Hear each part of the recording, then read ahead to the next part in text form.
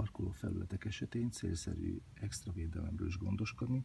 Jelen esetben ez egy mennyétiasztót jelent, amikor is a, nem szeretnénk, hogy a motorházunkban mennyétek garázdálkodjanak, elrágjanak kábeleket és problémát okozzanak, ezért célszerű valamiféle olyan eszközt telepíteni, a parkoló felületet védi, illetve az ott parkoló autókat védi.